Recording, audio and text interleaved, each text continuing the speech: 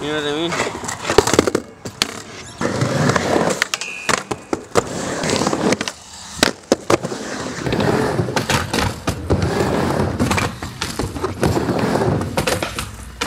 We're in Sydney for the Australian Open of surfing for the bowl contest, but we wanted to hit some skate parks.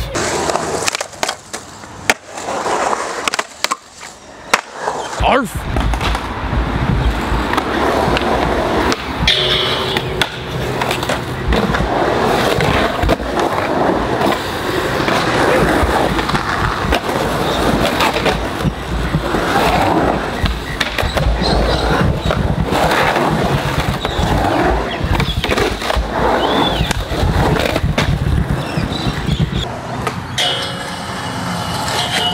Manly Vale.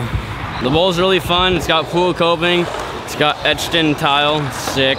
Bonus. Points. Rad. Awesome. It's got a little weird wannabe stair set in it. Like a backyard pool. It's got a bunch of graffiti. That's always nice. It's rough. You know what's really weird is that bank wall over there over the quarter pipe. It's really fun. It's kind of like surfing. Been a great first day in Australia, that's for sure. Came here, got here at six in the morning, went surfing, hung out at the contest, put together a board, came and skated here. It's been really fun.